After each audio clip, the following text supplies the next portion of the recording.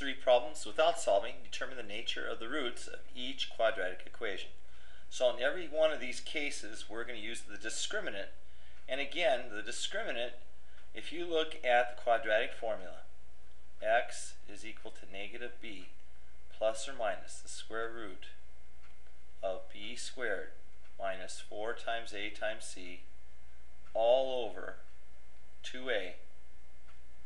It is discriminant. It is this expression inside the square root that is going to determine the nature of that root.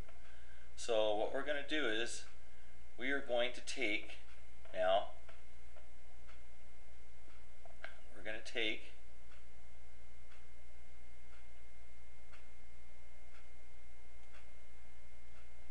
we're going to take that each and every time for every one of these we're going to take that b squared. Minus 4ac expression. And we're going to determine we're going to determine the nature of the roots of the quadratic alright so the first thing we have to do is we need to determine the a, b, and c for that particular quadratic equation. For number 4 a is equal to 1 is equal to 2 and c is equal to 3 for number 6, A is equal to 0.12, B is equal to 1, and C is equal to 2.7. And for 8, A is equal to 1, B is equal to negative 6, and C is equal to 9. All right. So at this point, let's go ahead and calculate. So b squared minus 4ac, so I have 2 squared minus 4 times 1 times 3. 2 squared is 4 minus, and 4 times 1 times 3 is 12. So I have 4 minus 12, which is negative 8.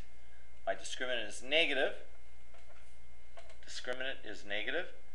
Therefore, I am looking at two complex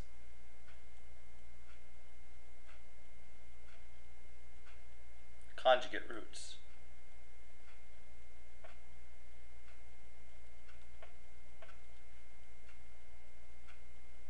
Okay, going on to the next.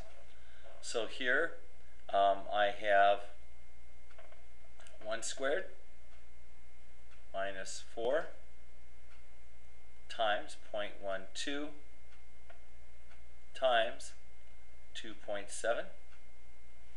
So this becomes 1. And 4 times 0.12 is 0.48.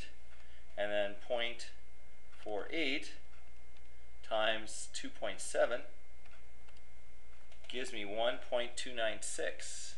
So 1 minus 1.296. So this is gonna this is in effect going to be equal to negative 0.296. And again, the discriminant is negative. Therefore, I'm going to have the same thing as this one. I'm basically going to have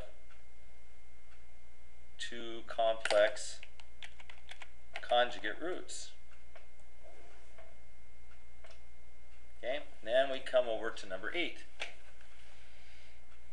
Number 8, here I have uh, b squared minus 4ac. So b,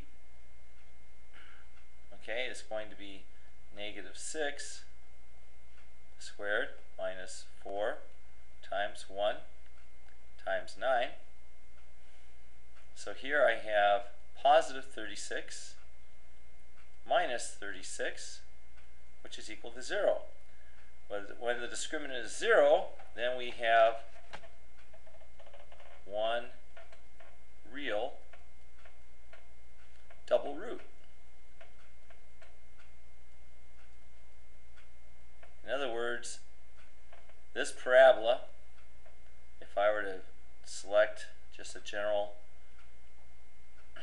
xy coordinate plane, this parabola takes on the characteristic of going up and just kissing, touching that vertex, that vertex just kissing or touching the x-axis once, right there. Okay, that may not be the exact position of it, but that's the general type of picture. Alright, so that's problems four, six, and eight.